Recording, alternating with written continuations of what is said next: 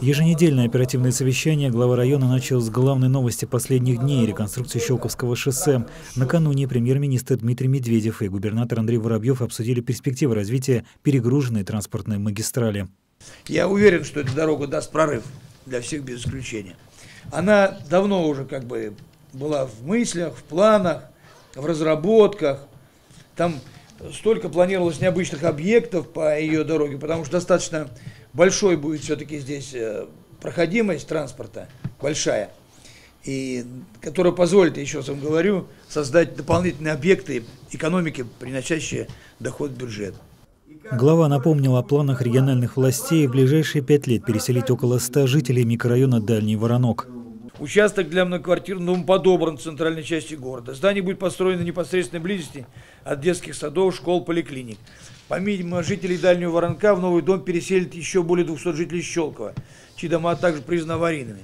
После заселения первой новостройки начнется подготовка к поэтапному расселению остальных домов микрорайона. Еженедельно на оперативке анализируются результаты выполнения поручений жителей, поступивших в администрацию через портал «Добродел». Основная масса сообщений связана с нарушением правил уборки снега и наледи во дворах. И это несмотря на то, что коммунальными службами основная масса снега, это около 40 тысяч кубометров, вывезена, и очистка дорог продолжается. Восстановленная ливневая канализация на улицах Парковой, Шмидта и Зубеева. Весенний период важно не допустить подтоплений зданий и дорог, подчеркнул глава района. Мы работаем над этим вопросом.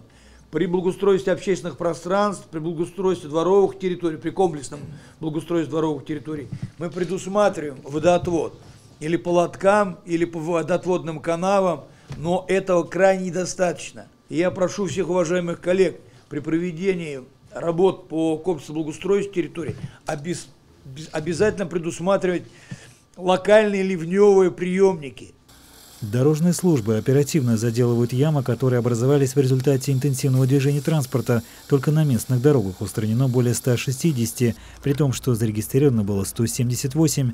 Ведутся работы на Институтской, после чего рабочие перейдут на Шмидта. Это все местные дороги, но есть и Щелковское-Фряновское шоссе, улица Центральная. Здесь ремонт проводится второй раз за сезон. Мосотабор также проводит работу по ямочному ремонту. У них зарегистрировано 215 ям и выполнено ремонт 170 173 ямки. Работа не становится, торги не цифровываются. Администрация контролирует ситуацию по погашению задолженности управляющих компаний, в том числе банкротов, перед ресурсоснабжающими организациями и положение дел с отловом бродячих собак. Заместитель главы администрации по социальным вопросам рассказал о готовности принять на базе загородного лагеря «Юнармеец» участников седьмого открытого форума Академии школьных дебатов. К нам на несколько дней съедутся школьники и эксперты, включая представителей из других стран, чтобы на этот раз подискутировать на тему преступления и наказания. В апреле запланировано проведение культурно-массовых мероприятий, месячников по благоустройству территорий. Как отметил Юрий Родионов, в этом году в числе мероприятий запланировано проведение Дня благотворительного труда.